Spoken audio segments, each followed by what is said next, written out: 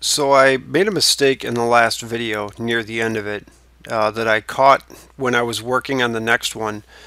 Um, and I'm not sure that it was that evident, but it's not how I would typically set up a building.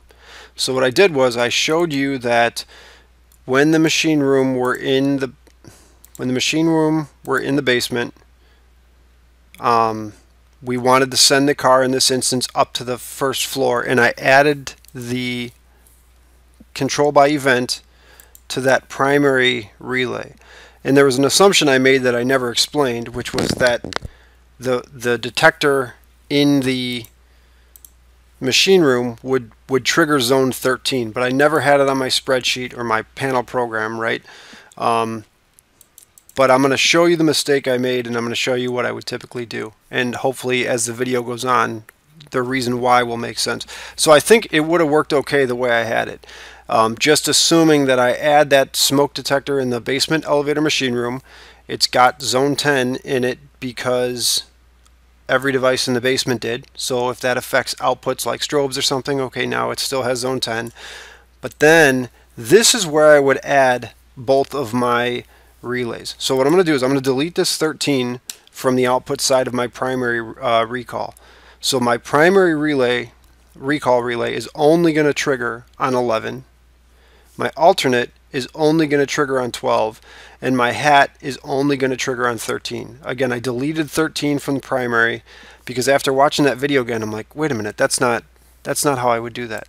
What I would do is for the machine room smoke, I would have it trigger 11 to send the car to 1 and 13 to turn on the hat.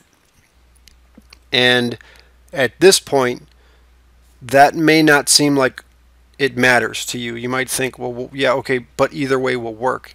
And that's true. But the reason that I would do it this way is because in this instance, um, there's only one detector I've shown so far that's gonna that's gonna flash the hat. Excuse me. But let's say we had that same building, but now there's only a first, now there's no basement, right? I just deleted the basement essentially. So my machine room is on the first floor, but there's no basement. Let's say we've got a smoke at the top of the shaft, and we've got a smoke in the elevator pit, okay?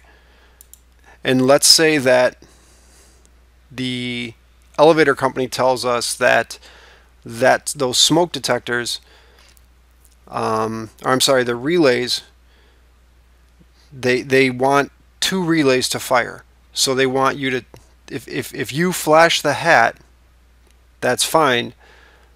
You also have to tell it what floor to go to.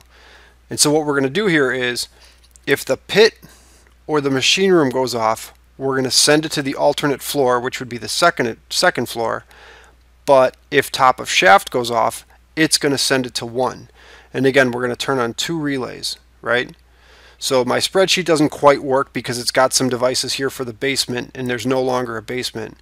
But we can figure that. We can, you know, you guys see where I'm going with this. So we'll edit this. So for now, this is first floor. Um, I'm going to get rid of 10. I'm going to delete all this stuff. I'm doing this on the fly, so bear with me. That was zone 1 was the first floor. Um, and then we're going to add a couple detectors here, right? We're going to add D31. We're going to add D32. So um, these are both smokes. And D31 will be top of elevator shaft. 32 will be elevator pit. Okay, so as far as control by events, let's say that the top of shaft we're going to put in with the top floor, which was the fourth floor. And the pit, now that there's no basement, we're going to put in with the first floor. Um, so those are their primary zones, but those are not going to recall the elevator, right? So for the top of the elevator shaft, we want to send the car to 1, which is primary recall. That's going to be zone 11. And we want to flash the hat, which is going to be 13. I don't know why the formatting works like that, but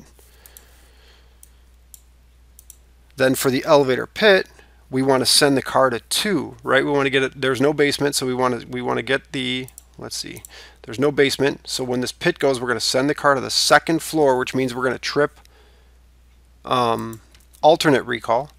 So we're going to throw in 12 there on this smoke detector, but we still need to flash the hat because it's in the pit. So we're going to also put 13. And so this may not seem like a, a big difference, but as I was watching that video, I honestly I almost deleted the video because I was like, ah, this isn't how I would do it. But then as I as I thought more about it, I'm like, well, I never really explained how that one um, how that one smoke detector was zoned. So assuming that was zone 13, the way I did it would have worked.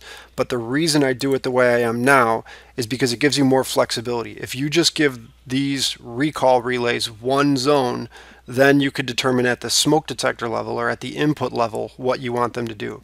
So real quick, we're just going to go, you know, sometimes I don't have a good feel for if I'm going too quickly or too slowly. Um, but when you have such a broad audience, it's kind of hard, you know, some guys are probably if if they even stayed this long, you know, this would be boring to them. But other people, you know, I might be moving too fast. So I'm just going to kind of reiterate what I did here. I removed having two inputs. I'm sorry, two zones or control by events from the relay, from the relay side. So primary is always zone 11, alternate's always zone 12, and flashing hat is always zone 13. And then at the smoke detector side, if I want to turn on more relays, I just add them to the control by event. So for the top of shaft, I'm going to turn on zone 4 because it's kind of the fourth floor. Um, and so I'd turn on those strobes or whatever that might be doing. Maybe it's just like a label at an annunciator or something. Um, I'm turning on 11, which is my primary recall relay, right? So I'm going to send the car to 1. And when the top of shaft goes off, I'm also going to flash the hat. For the pit, I'm going to send the car to 1. I'm sorry, I'm not going to send the car to 1. For the pit, I'm going to send the car to 2 because I'm triggering my alternate recall. And I'm going to flash the hat. And now I need to edit my first floor machine room. So that's on 1. That's going to basically mimic the pit. So I'm going to send the car to 2. And I'm going to flash my hat.